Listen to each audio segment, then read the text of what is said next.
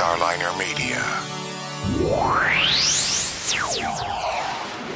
Starliner Media presents Music Night at the Majestic with your host, Michael Boswell.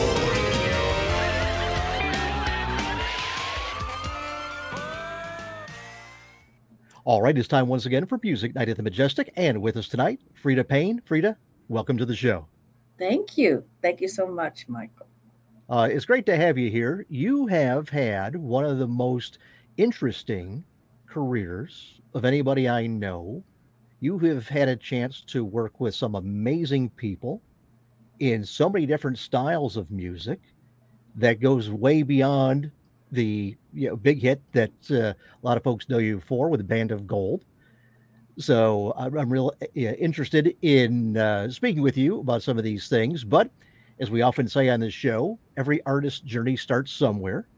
So for you, where did your musical journey begin? Well, it really started back in Detroit, which is where I'm from.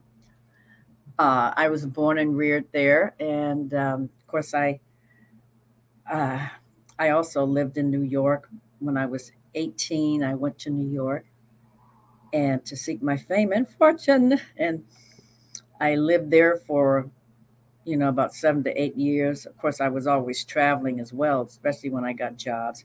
And then when I got, and then when I signed with Invictus Records in 1968, going into 69, that's when I had to. Uh, I was flying back to Detroit more often, and uh, you know, when I was recording and working with them. But my musical journey started when I was 13. And um, I just, I had entered some talent contest in Detroit. Uh, prior to that, I, I wasn't really singing, you know, like I wasn't recognized as a singer at all. Uh, and my piano teacher is the one who discovered that I had um, an, a voice that was exceptional, as she said. And uh, so after that, I uh, sang at the piano recital because I was taking piano lessons, and so was my sister Sherry as well.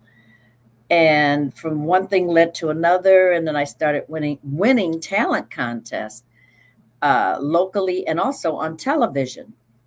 So people started to take notice, and uh, even Berry Gordy Jr. at the time. I was by this time I, was, I was 14, I believe, and he wanted to, you know, manage me and sign me up and all like that. This was prior Motown. There was no Motown, and there was not quite Tamla Records yet. So we're talking about the very beginning. And of course, we didn't. My mother wouldn't let me sign because uh, she figured that he was very re- resistant in in as far as uh, terms in a, in a contract, so she didn't like that, and we so sort of just moved on from that. Uh, but we're very close, very good friends to this day, so don't worry about that. Not to well, to, uh, you, you you mentioned talent contests. You are probably the only person who was on Ted Mack's Amateur Hour, the American Idol of its day, Right. And then also performed on American Idol. yeah, that's weird. You're right. You're right. I, you know, I kind of like I didn't put that together. Uh, yeah, I was 16 when I was on Ted Mack, and that was in 1959. Whoa. And uh, I didn't win first place. I won second place. I was up against a guy, an Italian tenor, and this was his third win. So he already had all his relatives, you know, voting for him, you know, and some. So, uh, and then you're right. And then years, let's say decades later, decades later, I, I perform on American Idol as a professional and as a veteran, uh, iconic uh, singer, as as they say, disco R and B singer although I'm really a jazz singer. I'm really a jazz singer from the heart. Yeah. Exactly. But that year, was it 2008? I performed on American Idol. Yeah. Mm-hmm. Yeah. amazing how things kind of, you know, uh, come around or, you know, what have you. Yeah. Yeah. Now, in one a of the in a different form. You know, I wasn't competing. I was, but I was performing on a show that was considered a talent contest extraordinaire. exactly. Well, I'll tell you, one of the people, yeah, that uh, you uh, crossed paths with, Duke Ellington. Yes. How did that come about? Tell me, tell me about Duke. Okay. Well, I was 17 and back in Detroit, and um, we had a neighbor. He was an, a very prominent attorney in Detroit. His name was Alan Early Jr. He was a criminal attorney, and he was very became very good social friends with my parents. So he he had heard me sing, you know, at different times, at different occasions, and um, he was at a cocktail party, and he met Mercer Ellington, and uh, because Duke was in town with the big band, and they were performing at a theater in Detroit. So he was telling Mercer about him, and he said, "Oh, you have to hear this this teenager sing. She's really good. She's she's really exceptional." And so we got a Mercer to come to our house, and I sang for him in our living room. And after I sang, he said, "Oh," he says, he says, You really have something. He says, I want my dad to hear you. And so they called Duke, and Duke said, Well, bring her down to the to the hotel. He was staying at the Gotham Hotel, which was a black owned hotel. Um, and he said, So my mother brought me down there, and and Duke had a piano in his suite. And he played for me. I did a couple of, I think I did, I got it bad and that ain't good. And maybe Mood Indigo, something like that. And he turned to me and he said, he says, You remind me of Lena Horne.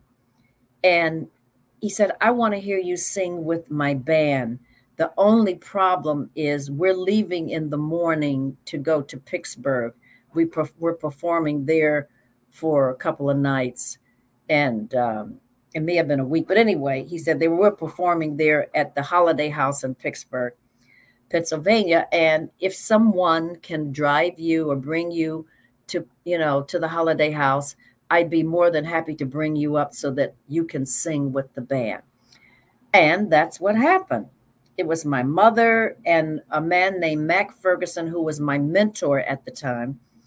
He worked with me a lot, you know, learning, teaching me songs and technique and all that stuff.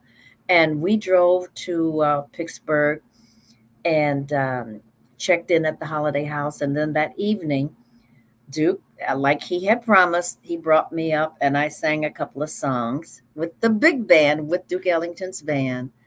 And uh, and also that afternoon, I got to meet Billy Strayhorn because he was there with Duke. And um, it was, I didn't, I had heard of Billy Strayhorn, but I didn't know how important he was. And uh, in in in so far as the history of music and jazz, and um, so I I was happy about that. He was a sweet a sweet man, a very nice man, and uh, that's and then of course after that the band went on. Their next engagement was in Las Vegas, so we drove. My mother and I and Mac we drove back to Detroit, and then it was like about a week or two later. Um, Duke invited invited me and my mother to come to Las Vegas because he was still interested. And he also offered me a 10 year contract to sing with the band. So we drove to Las Vegas and um, I got to, he brought me up again to sing with the band. But the, to make a long story short, when he uh, mailed the contract to, to our home, to my home, uh, our attorney, who was Alan Early, who was our neighbor, really. And he read it, and my mother read it, and I, I think I read it too. And and they wanted to make some changes. The contract was for 10 years. 10 years. Now, mind, mind you, I was just 17. So after wanting to make changes to the length of the contract, make changes to certain things like what the salary pay scale would be, my mother said one thing. She said, Mr. Ellington, what if in about three or four years from now, you've made my daughter a star and she's and she can command uh, thousands of dollars four five or six thousand dollars for an engagement. Would you adjust her her salary accordingly? He said no. So he wouldn't change any. He didn't want to change he was like Berry gordy. He was. He was like Berry gordy. He didn't want to change anything. So it that didn't happen. You don't say. Uh, well, honey, those are the story. That's showbiz. exactly.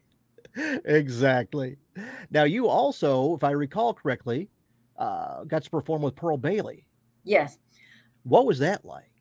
I was 17. This happened all when I was 17. Um, I had just graduated from high school when I was 16, and I just turned 17. And ironically, the same, my same uh, Alan Early Jr., our neighbor and, and dear close friend to the family, he was at another cocktail party and he met a guy by the name of Bob Bailey. No relation to Bill Bailey, by the way. you know that song, Won't You oh, Come Home, Bill Bailey? Won't You Come Home? But he met uh, Bob Bailey uh, at a cocktail party and they got to talking and he started talking me up again and it just turned out bob said well you know what? We had uh, one of our background sing- singers just left and we're looking for a, a replacement for the background singers. And um, he said maybe maybe it might be maybe she could come and audition. So i auditioned. I was the everybody there were professional singers and I was the only amateur because I'd never, you know, like, you know, been a professional before. I was still singing uh, as an amateur. And it was a double audition.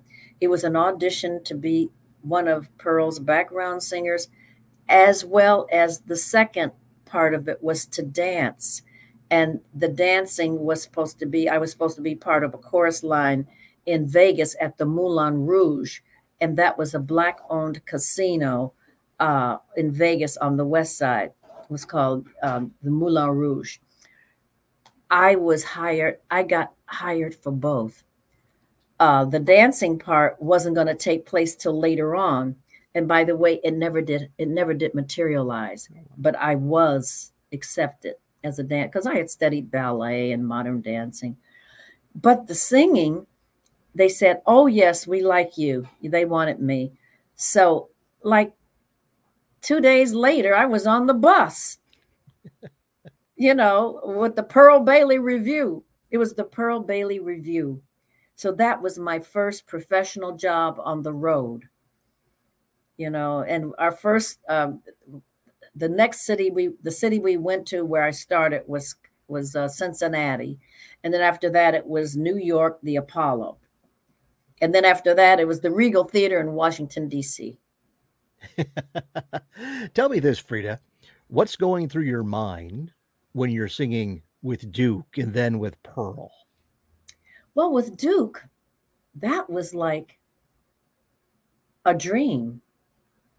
It was nice, you know, because here I am. I'd sang with, by the way, I'd sung, I'd sung with big bands before in Detroit, like the Jimmy Wilkins Orchestra the Jimmy Wilkins Orchestra in Detroit at the time, and for years he was like the he was like the Count Basie of Detroit, and they were hired for like different affairs and uh, you know different galas in Detroit at the Latin Quarter or at downtown at Cobo Hall, and Jimmy would hire me. Uh, to come and and I would I would do like maybe two or three songs as the band singer, and I get paid like forty five bucks, and um, that would be it. So I had kind of like gotten I I had become accustomed to singing with a big band, and from the time I was fourteen until I was sixteen, three years. I was on a radio show called Don Large's Make Way for Youth. And it was on station WJR atop of the Fisher building and it was it was it was NBC syndicated nationally and it came on every Saturday afternoon. And we had two days rehearsal and during the weekday, Tuesdays and Thursdays. And my mother, of course, would always drive me at, at yeah, because I wasn't really driving at that time. She would drive me, um, you know, to the Fisher Building in Detroit.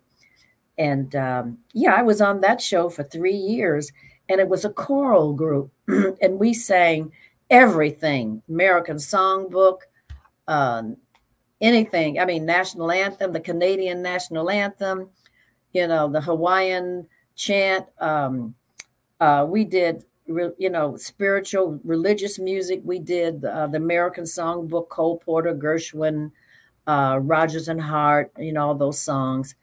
And um, I was frequently uh, asked to do a solo by Don Large. And so it was me, and the other girl that did solos was Ursula Walker. And at the time, Ursula Walker was like sort of like the pre- premier singer because she was always on TV singing.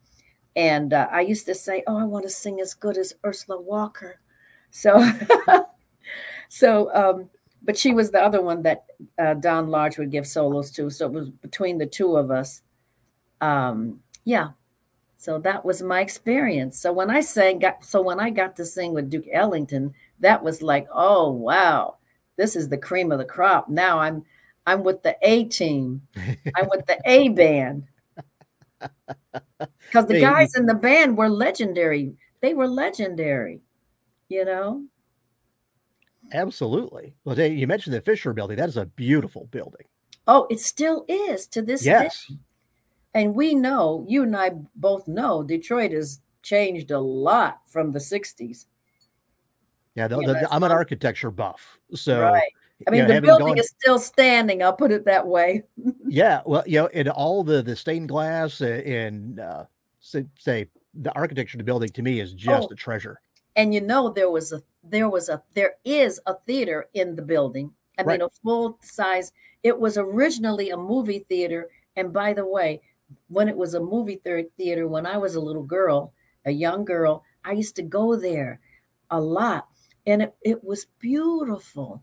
I mean, it was sort of like um, the, the architecture was was like Peruvian. And they had like a little like a little pond downstairs and upstairs on the second floor. It was just go I mean, it was gorgeous.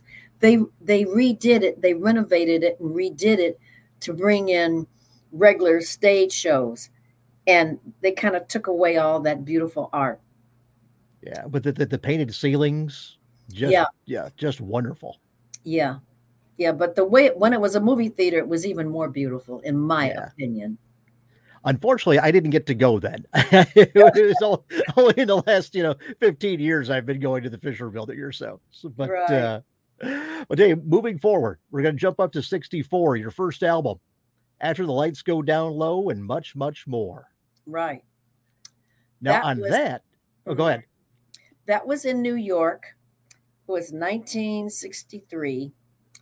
And I had one side was like trio, the other side was big band. It was like A side, big band, B side, trio. Mm-hmm. Yeah, now Duke that was on Impulse. that, that was on Impulse. Impulse. The, the, uh, legendary jazz label. Right. It was a legendary. Yeah. John Coltrane was on Impulse. Even Absolutely. Duke Ellington was on Impulse. So I wasn't yeah. doing so bad. now Duke uh, wrote a song for for that album for you, didn't he? Yeah. I think what was the name of it? Blue Piano. Blue Piano. Yeah. Yeah. Yeah, I loved it. I love it was it was a great experience. I know when I listen to it, I say, "Oh God, I was so uptight. I was so nervous." You know, I use you know how you critique yourself. Yeah. Yeah. Mm-hmm. What What's the one thing you remember most though about recording that record? Ah, uh, wow. I know it was it was in this it was sort of like at downtown in the 30s and it was a studio that was uh, like a RCA RCA studio, RCA Victor type, uh, RCA studio, and it was live. All the band members were there live, which is they we still do that to this day because the last al- the uh, the album that I did, the last two albums I've done, ha- has been with live musicians, like at Capitol here in Hollywood, Capitol Records, Studio A, with a big band.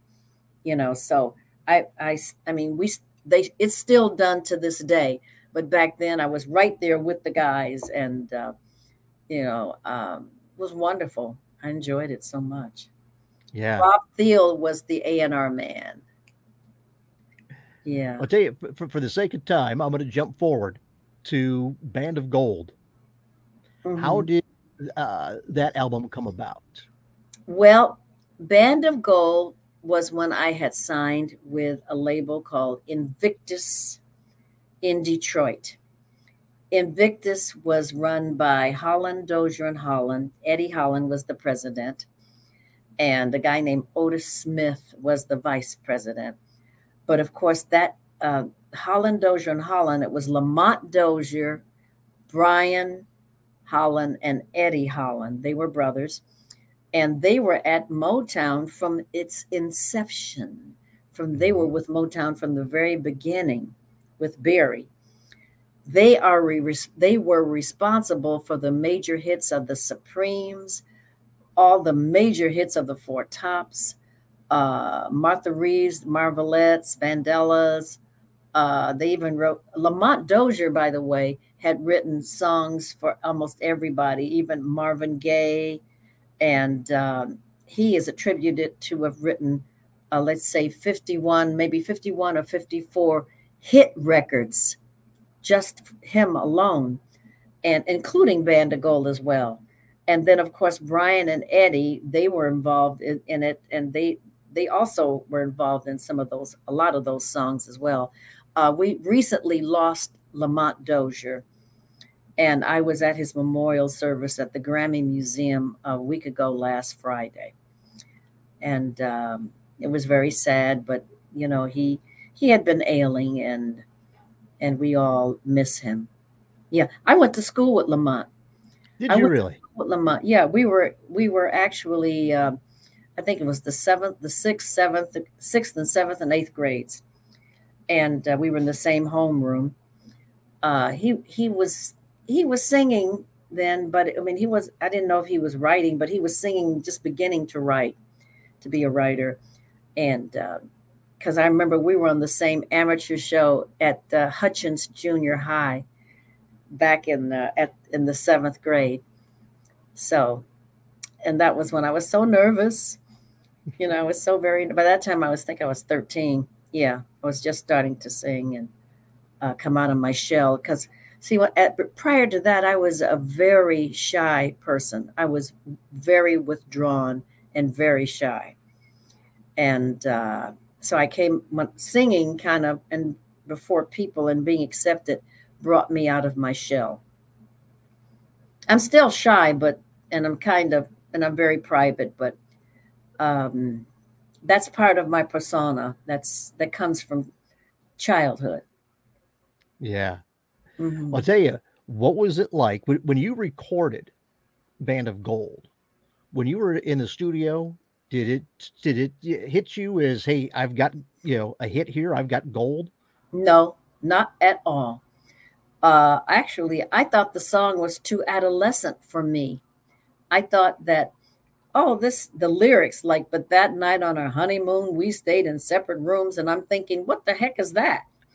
when I recorded Band of Gold, I was 28, and I'm saying, here I'm a grown woman, you know, and uh, why would you have give me a song that seems like you, this would be a song meant for a 16 or 17 year old singer to do? And they said, Oh, don't worry about it, Freda. You know, it's a good song. Just sing it. And I said, Okay.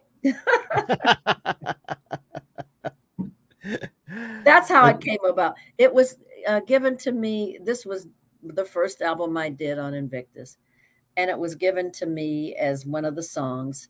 Uh, uh, to me, I thought everything, um, all the songs I did on that album were great. I thought any one of them could have been a, become a big hit. Yeah. Well, tell me this coming from that jazz background, did you adapt your style or, you know, to do what is, you know, a different style of music for it? Or did you, how did you approach it? absolutely. I because listen, I'll give you an example. Nancy Wilson, who I loved, and she is one of she was one of our iconic jazz vocalists up there with Ella and Sarah. It's to me Ella, Sarah, Nancy.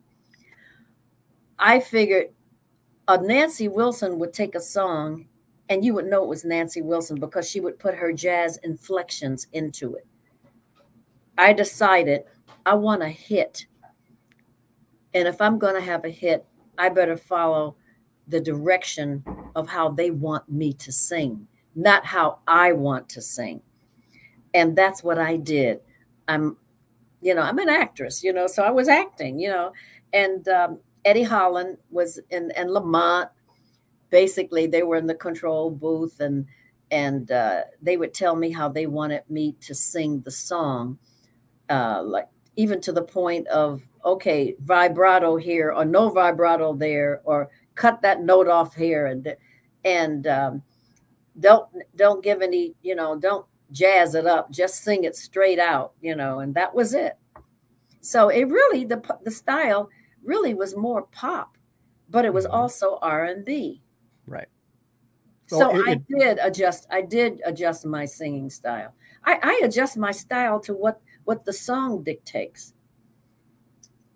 Well, and I think that's why so many singers are also good actors. Because mm-hmm. you're you're when you when you're singing, you're playing the role, if you will, of the lyric. Right.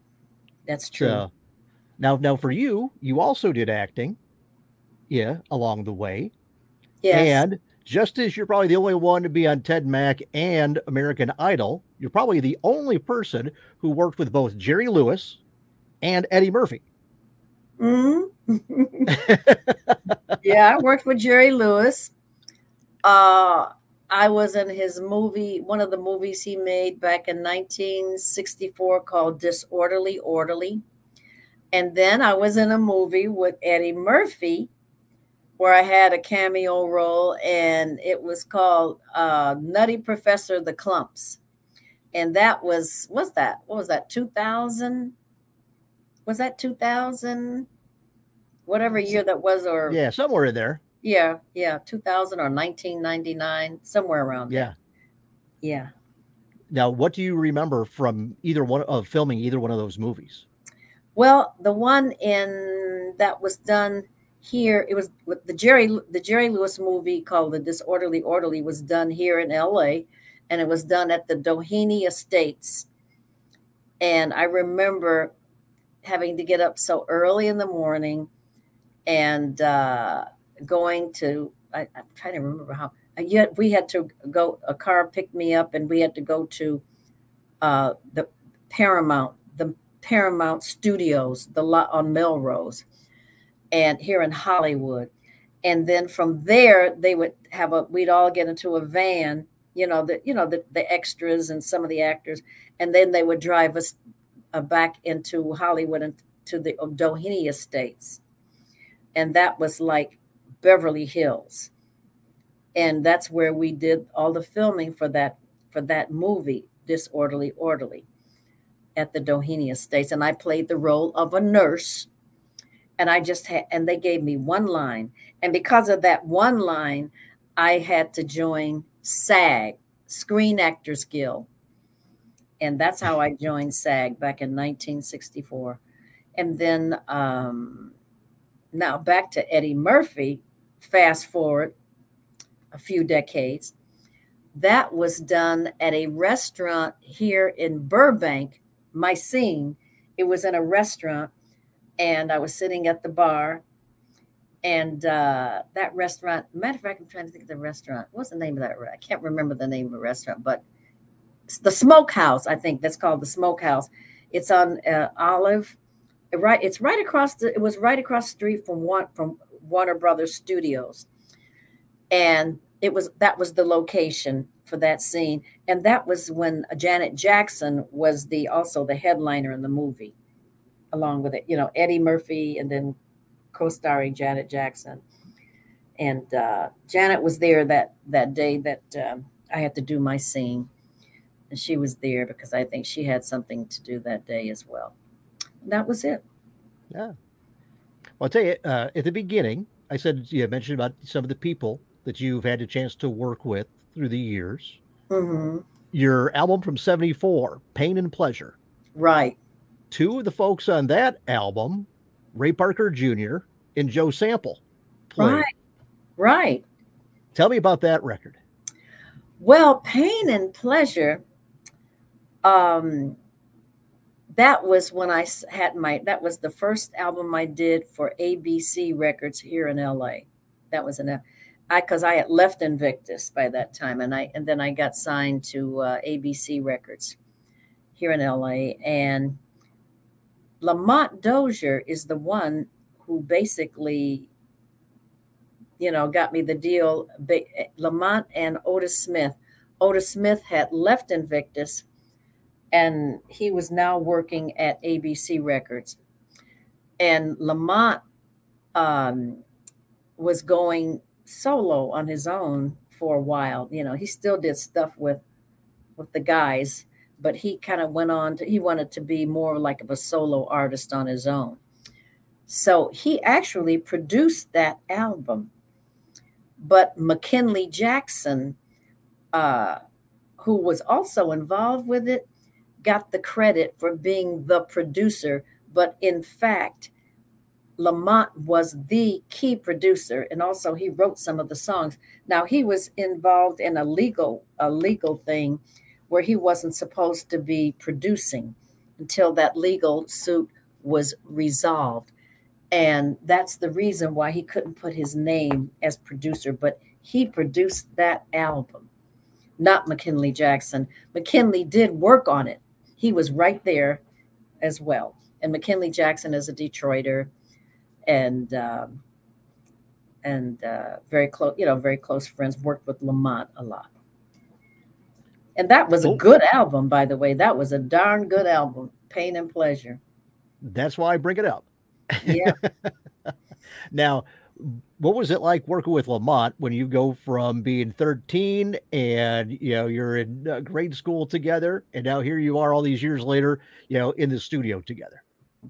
You know, it's it's like uh, family.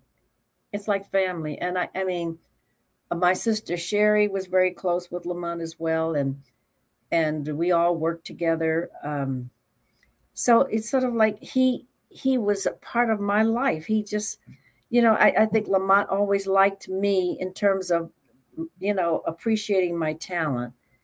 And he was all, in, in a way, he was always kind of looking out for me as well. And I think it probably had a lot to do with being a Detroiter and also the fact that we'd known each other so long. So um, that was what that was all about.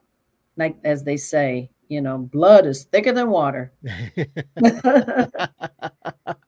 well, uh, as far as you know, we're talking about, about your music and your recordings, mm-hmm. in the mm-hmm. last couple of years, you've recorded several projects.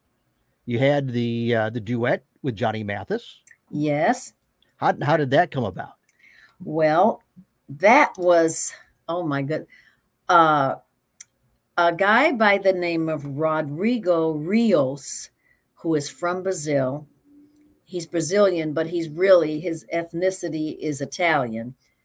Uh, he's a drummer, and uh, he was here in LA.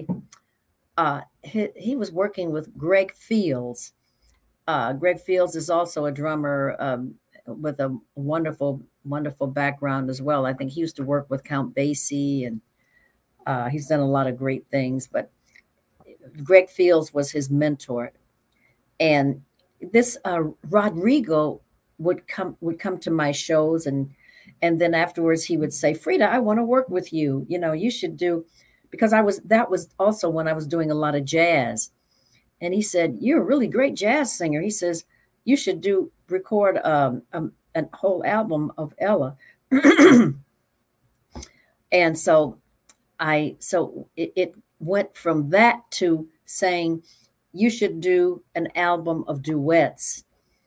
And he said, I can get Johnny Mathis and um, and then it went to Johnny Mathis, and then we got Dee Dee Bridgewater, And then he reached out to Kurt Elling and he got Kurt Elling. And and then I I said, well, what about Kenny Lattimore? And then I got Kenny Lattimore. And then I said, well, what what what do you how are you gonna do? He says, big band. It's got to be done with a big band and strings. So then we had um, a man who was really someone who's really close to me. His name is James Michael Getz. And Jane, Michael and I were very, very close, you know, as friends and sweethearts, actually. And Michael said, You know what? He says, I got this.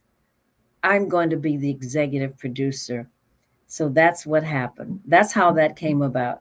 So we recorded the whole thing at Capitol Records in Studio A. And uh, Michael was the executive producer, and Rodrigo Rios was the line. We call it that. He would be the line producer. Yeah, and and oh, and I and I was. I think I'm listed as the like a co-producer or something like that. Yeah, and then we got Gordon Goodwin is uh did the arrangements. Gordon, excellent, excellent arranger, Gordon Goodwin. Yeah. Well, I'll tell you, you mentioned Ella. Yes. You, you've been uh, performing as Ella for, for a few years now. Oh, yes. I, I started back in um, 2004. And even before that, I would I started doing a tribute to Ella, just a one woman thing with you know me and a trio. And then in 2004, uh, my friend, my dear friend, who I also worked with, uh, Maurice Hines, Maurice Hines, his brother was Gregory Hines, and uh, Maurice and I had worked together. We did the um, uh, the hit Broadway show Jelly's Last Jam, where Maurice was playing Jelly Jelly Roll Morton, and I was also I had a role in it. You know, I was starring it, starring in it, and also uh, Savion Savion Glover was the playing young young Jelly as a tap dancer, and um, we did that tour for a whole year back in 1995. And so Maurice used to hear me warming up in my dressing room. And sometimes I'd be singing some jazz or, you know, scatting a little bit. And, and he said, You know what, Freda? He says, My brother and I used to open for Ella when she worked in Vegas at the Flamingo Hotel. And I got to know her. He says, But you sound just like Ella when you sing jazz. I said, Do I? He says, Did anybody ever told you that? I said, Oh, yeah, I've heard that before. And so he called me up and he said, uh, region, there's a theater in New Brunswick, New Jersey. It's called Crossroads, and it's a regional theater. You know, that's an equity theater. And he said they're they're producing um, uh, the play Ella Fitzgerald, First Lady of Song. The book is written by Lee Summers and I'm calling you first to see if you would like to do the role of Ella. And I said, Oh, yes, I would love to do it. So I did it then, got rave reviews, got good reviews. And then 10 years later, he calls me again and he says, There's a theater in uh, Virginia. It's it's called it, the theater's called Metro Stage, and um, it's in uh, Virginia, right? You know, because I could see the White House, I could see the Capitol building from my from my hotel suite, and um, and he says they they want to produce, they want to bring, you know, the Ella Fitzgerald First Lady of Song, and and I did it there for like eight weeks, you know, performances. Another, and that's where I got a rave review from the Washington Post. And then and then after 2014 was that 2004 and then in 2018 uh once again maurice calls and says they want to do ella they want to you know put ella on at the delaware theater in wilmington delaware which was another regional theater and i did it once again you know three weeks there and you know good good reviews uh and great acceptance. Uh, matter of fact, uh, a great attendance and all that. You have a new memoir out. Yes, I have a new memoir. It's called Band of Gold, and here it is. and it's it's written by me and and Mark Bego.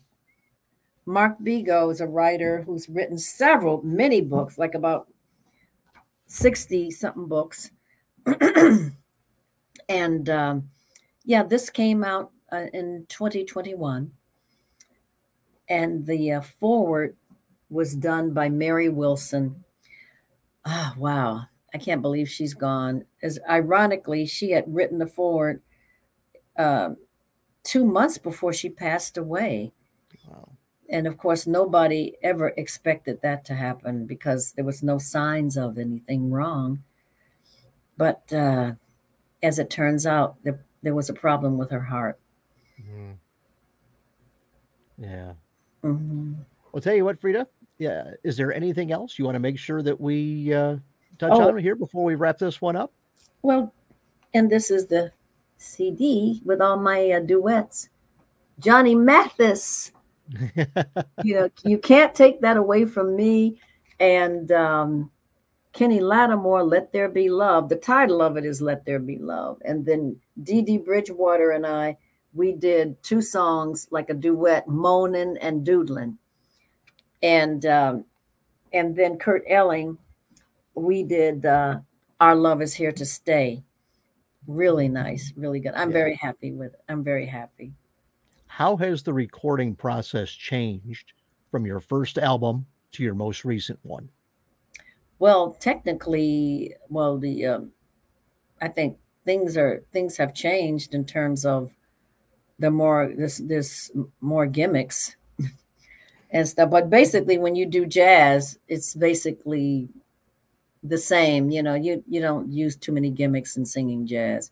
You use that when you're doing like rap or you're doing, uh, I would call, uh, you know, hip hop or Taylor Swift type stuff. You know, they use a lot of like studio uh, technical stuff. You know, with the, uh, I don't know. I'm not. I'm still old school. Use a lot of, and it sounds good. It sounds good. And also back then, there weren't too many. There we we weren't into so many um, of videos. You know, now you got to have a video. You know, like MTV. It started. It started out with MTV.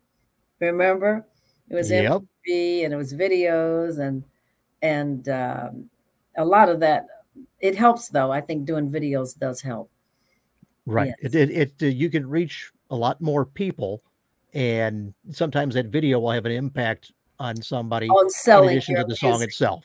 Yeah, on selling your music. Yes, and some videos. I mean, I was just watching some uh, some of the latest stuff Taylor Swift is putting out. my God, it's like, oh wow, it's really nice, very nicely and very well done. Yeah, some some of them are like little mini movies. Yeah, it, you're right, like a mini movie.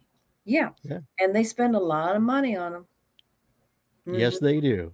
Mm-hmm. I'll tell you what, Freda, throughout the show, we've had your website and your social media uh, scrolling across the screen so that people can find you and your music and your uh, memoir and all that good stuff. Yeah. So okay. I want to I want to thank you for taking the time to join us on the show. Well, thank you for having me. All right, everybody, have a good night. Good night. This has been Music Night at the Majestic with Michael Boswell. If you enjoyed this edition of Music Night at the Majestic, follow us on Facebook, YouTube, Twitter, Instagram, and at musicnight.net. Music Night at the Majestic is a copyright production of Starliner Media. Any use of the accounts and descriptions of this program, its audio or visual content, without the express written consent of Starliner Media is prohibited. Thank you for joining us this evening. We'll see you next time for Music Night at the Majestic. This is your announcer speaking.